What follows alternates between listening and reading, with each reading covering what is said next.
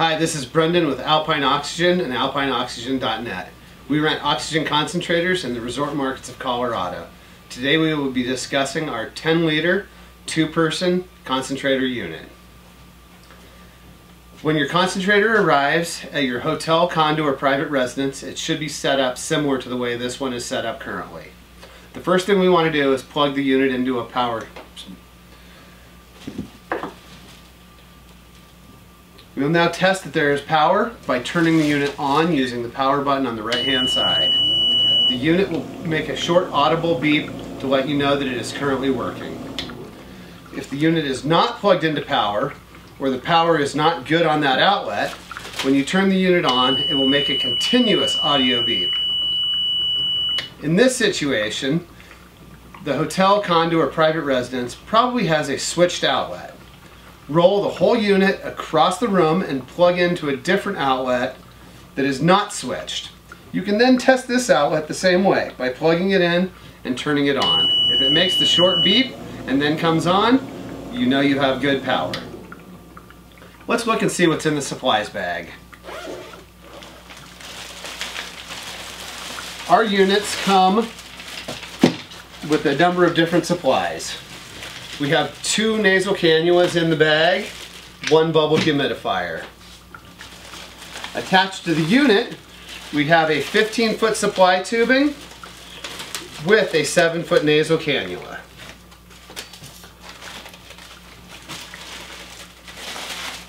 We also have a non-rebreathing mask, a supplies baggie with a Y adapter a green adapter Christmas tree, and two tubing connectors. The final piece that will be in your supplies bag will be a four foot tube with the Y attached to it already. For a single user, we will power on the unit and pull out the nasal cannula. The nasal cannula has two prongs on it. These prongs are slightly curved. The curved side should face your nose prongs go up the nose with the tubing hung behind your ears so that it drapes under your chin. You can now adjust the tension using a little plastic slider under your chin.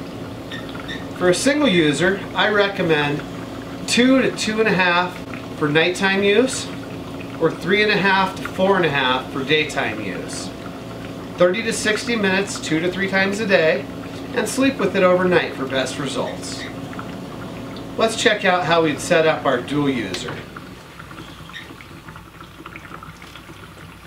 At this point, we're going to remove the 15 foot extension from the bubble humidifier bottle.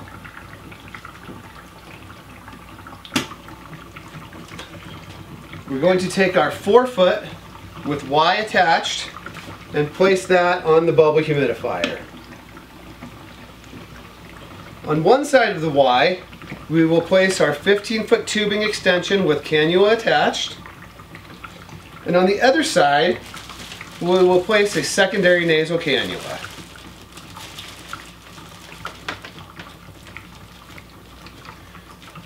In this setup, the person on the side of the bed using the machine can take the shorter nasal cannula. The 15 foot extension tubing can be wrapped around the headboard to the bed to the other side and the person on the far side of the bed will then get a, a nasal cannula on their side of the bed. This is handy when two people are using the unit at the same time. When using this setup, please raise the oxygen supply rate to approximately 5 for nighttime use. Make sure that each user is not getting too much oxygen blown up their nasal cavity and is not uncomfortable. For daytime use, you may bring that to 8 to 10 LPM. Make sure that you do not exceed 10 LPM on these units or the unit will make a beeping alarm sound. If it makes a beeping alarm sound and it is above 10, gradually reduce the oxygen concentrator flow until it stops beeping. The last setup using the 10 liter concentrator would be a bag mask. The bag mask is especially useful for somebody that is extremely sick or somebody that you're cautious about and want to make sure that they get the most amount of oxygen in the shortest amount of time. We're going to remove the bubble humidifier from the unit And we're going to remove the small green Christmas tree looking attachment. We're going to place the green Christmas tree attachment on the oxygen outlet nipple.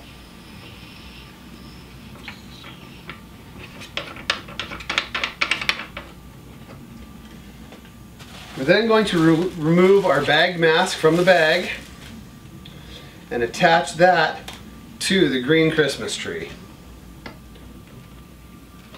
Power on the unit and raise the flow rate to approximately 10. As we discussed earlier, we do not want to over, overload the machine.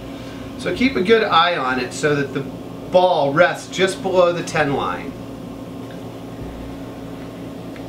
We can then hold our finger over the check valve to make sure that the bag fills properly.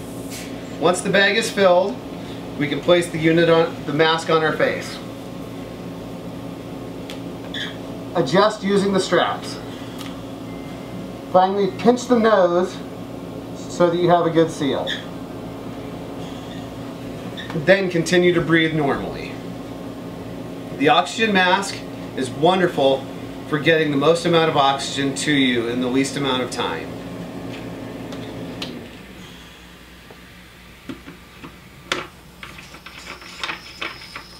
One final note on the oxygen concentrator. The bubble humidifier will occasionally need to be filled after approximately 24 to 36 hours of continuous use. The bubble humidifier has two lines, minimum and maximum. In order to fill the bubble humidifier, remove the whole bubble humidifier from the unit. Empty or clean the bubble humidifier container. Refill using 8 to 12 ounces of lukewarm tap water. If you have distilled water available, that is better. Place the lid on the canister and thread correctly. Make sure the unit is not cross-threaded. Place the bubble humidifier back on the oxygen outlet nipple.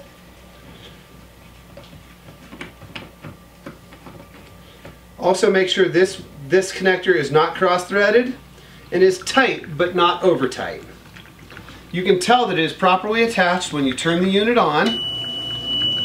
If you hold your finger over the outlet nipple on the bubble humidifier, it should make a good seal. You should not hear air coming from any of the other seals on this unit. That's your instructions on how to use our 10 liter oxygen concentrator. We hope that you have a great vacation. If you have any questions, comments, or concerns, please call Alpine Oxygen at 970-925-5125.